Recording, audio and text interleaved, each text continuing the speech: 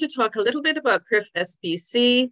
Uh, we were formerly known as the Caribbean Catastrophe Risk Insurance Facility, um, but we now have or have had a name change for a little while. Um, so just in a few words, some of you may not be familiar with CCRIF, and I hope some of you are already familiar with CCRIF. So we began in 2007. So it was prompted really by the hurricane uh, in 2004, Hurricane Ivan, which ravaged the region in that year. And Caribbean governments approached the World Bank for assistance in setting up some kind of mechanism that would help the governments in the region. So CCRIF is the world's first multi-country, multi-peril risk pool, and it's based on parametric insurance. And I'll say just two words on that um, a little bit later on.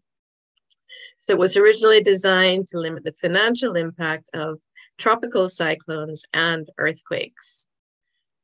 We have expanded beyond those two to rainfall, fisheries, and the electric utilities sector as well.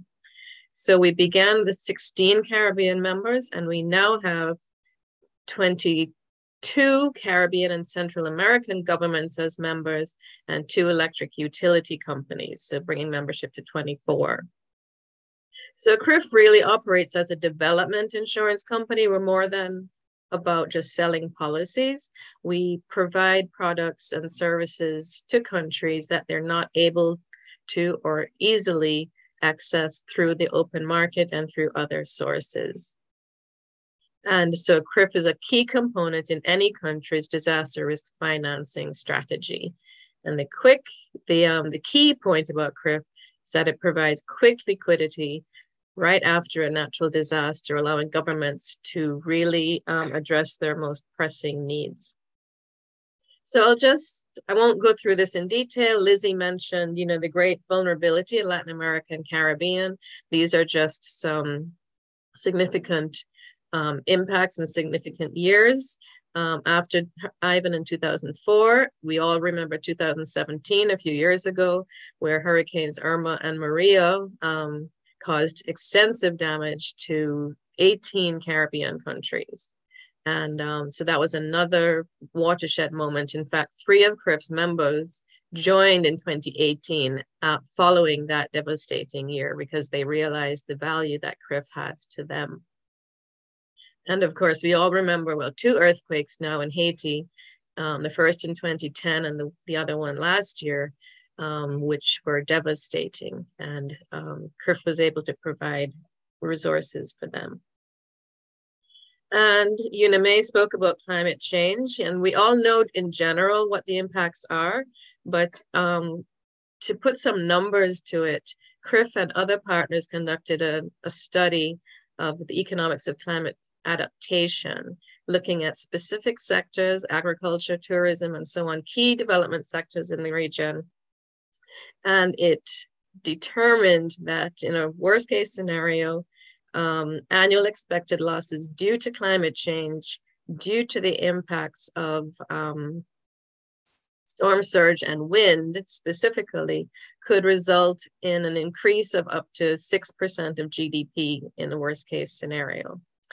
And the study also looked at a cost benefit analysis of different risk mitigation actions, you know, such as installing seawalls and, and so on. For each of the there were eight pilot countries in the study and for each country looked at where it became cost beneficial to implement those disaster risk mitigation activities or where it might be more cost effective to to um, invest in risk transfer. And so this study allowed you to, allowed decision makers to see some concrete numbers that it could use to make cases to access climate funding for example so obviously, governments realize that due to the increasing frequency and severity of these climate-related events, um, there's been a growing interest in disaster risk financing and insurance programs. So the financial protection part of the comprehensive disaster risk management frameworks is getting increasing um, attention. And so there's a range of um, financing instruments. Some are ex post, where they are put in place only after a natural hazard event occurs. And of course, this would include donor assistance and so on. And of course, the dreaded budget reallocation, where governments have to take funds from one aspect of their budget, such as social programs or education and so on, to place it to address um, disaster risk recovery efforts. And then there's increasing focus on ex ante instruments, excuse me, where investment is made up front. For example, in national reserve funds, contingent debt facilities, cat bonds, and insurance, both parametric insurance, of which CCRIF is an example, and traditional insurance. So this graph really shows you when these kinds of um, instruments kick in. And it shows that CCRIF insurance is able to provide relief in the very, very early stages of, um, of the time frame after a natural hazard event occurs. And specifically, CCRIF can make, not can make, does make payments within 14 days after a natural hazard event occurs. And so we like to share with governments that their financial, financial um, disaster financing policies need to include a range of instruments that deal with the different levels of hazards and risk. So you go from your low risk layer, such as your local floods, where you'd expect your local funds, your contingent budgets to deal with those, all the way up to the high risk layer, which is where CCRIF insurance comes in, um, dealing with high intensity earthquakes and severe um, excess rainfall uh, events as well as hurricanes. So we really want to stress that CCRIF is not a panacea, it's not a catch-all. It's an important part of a country's DRF um, strategy, but it must be accompanied by these other kinds of instruments. And just a couple examples, um, we heard about the parametric insurance pools in Mexico, and there's a similar one in Belize, specifically for their coastal zone to protect the tourism industry. These are some others here. Along with CCRIF, there are two other regional risk pools, one in Africa and one in the Pacific. And um, those were modeled after the CCRIF model, but have been adapted for the specific risks in those areas, in those regions. For example, the African risk capacity um, focus, focuses a lot on drought. And just last year or this year, Jamaica was the first in the Caribbean to establish a cat bond, which will enable them to get protection against major hurricanes. And IDB's contingent credit facility is also available. They provide loans um, which are disbursed after a natural hazard event causes um, a certain level is of a certain le level of intensity previously agreed. And the Bahamas received one such loan after Dorian, and Jamaica also recently received such a loan. And this is just a note on what the CAT bond and contingent credit facilities are. Anticipating that you'll have access to this presentation, I just wanted to put in a little bit of information describing what um, what those two tools are since they're relatively new and um, may not be familiar to persons. So I want to focus a little bit about CCRIF. Um, so we are a DRF tool. We are also considered a climate change adaptation tool because it helps countries recover from natural hazard events. Of course, in CCRIF's case, it's not only climate related events because we also provide coverage for earthquakes as well. Um, so basically, it's designed to fill that liquidity gap between your immediate short-term emergency assistance and your long-term development assistance for um, recovery and reconstruction.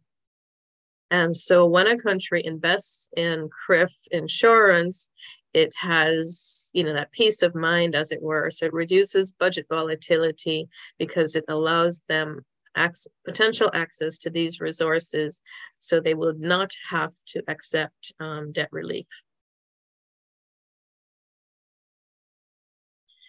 So unlike indemnity insurance, which we're all familiar with, CCRIF's parametric products make payments based on the intensity of a natural hazard event. And in CCRIF's case, the tropical cyclone policy would make payments based on the impacts of wind and storm surge. The earthquake policies would make um, payments based on the intensity of the earthquake measured in terms of ground shaking and the excess rainfall policy in terms of rainfall. And then these are applied to the um, exposure or the assets on the ground in a country to come up with a pre to come up with a model loss based on a pre-agreed model. And so we don't have to wait on insurance adjusters to visit the country to look at damages and do an assessment because right after a natural hazard event occurs, these the model losses can be calculated and compared with the country's policy to determine if the policy is triggered and to calculate the value of the policy. As I mentioned, CCRIF makes payments within 14 days and countries can purchase policy, uh, coverage up to 150 million US dollars per peril. So this is a list of all the members, as I indicated, and we have a brand new member as of this year, um, LUCELEC, which is the electric utility from St. Lucia. And, and as I mentioned, three Central American members as well. They joined, started joining in 2015. So these are CCRIF's primary products for earthquake, tropical cyclone, excess rainfall, fisheries, and electric utilities. So the fisheries policy or the coast policy is based on losses specifically in the fisheries sector due to rain, waves, wind, and storm surge. So it has two components where one operates like a tropical cyclone component and one operates um, protecting fisher folk and other persons. Kind of like business interruption insurance, where due to waves and and um, high rain, if they're unable to go to sea, for example, then they receive a payout. And what's critical is when the government receives a payout, it's automatically disseminated to all persons in the fisheries sector.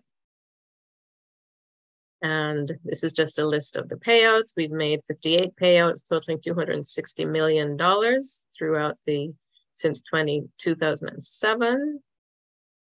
And we're looking at developing new products for agriculture, tourism, housing stock, and other um, other sectors, as well as one specifically for drought. And my final slide, and I see you turned your camera on, is we're also involved in microinsurance, which is targeted at individual persons and, and enabling them to provide coverage to protect them against um, weather related events. And we've created or developed this policy called the Livelihood Protection Policy, which is being implemented in Trinidad and Tobago as one of five pilot countries. And small farmers, um, day market vendors, etc., will be able to access this kind this kind of insurance.